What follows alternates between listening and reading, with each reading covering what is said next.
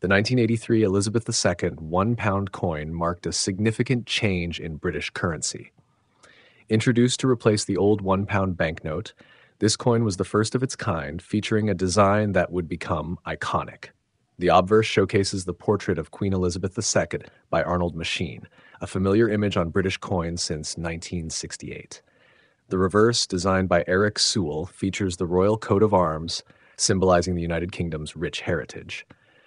This coin is composed of nickel brass, an alloy of 70% copper, uh, 24.5% zinc, and 5.5% nickel, giving it a distinctive golden appearance. It weighs 9.5 grams and has a diameter of 22.5 millimeters, with a thickness of 3.15 millimeters. The edge is inscribed with the phrase Decus et Tutamen, meaning an ornament and a safeguard, a feature intended to deter counterfeiting.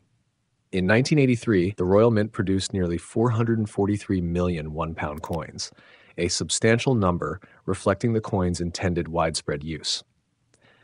However, within this vast production, variations can occur, such as differences in die alignment or minor errors, which can pique the interest of collectors. Despite the high mintage, certain factors can significantly enhance the value of a 1983 one pound coin. Coins in mint condition, especially those graded as uncirculated or proof, can fetch higher prices. Proof coins, struck with a higher quality finish and often sold in sets, are particularly valuable. On average, a circulated 1983 one pound coin might be worth its face value, but an uncirculated or proof coin can range from 5 pounds to 20 pounds or more, depending on the condition and demand. Collectors seek coins with minimal wear and original luster. Key indicators of a coin's desirability include sharp details on the Queen's portrait and the royal coat of arms, as well as a clear and unscratched inscription on the edge.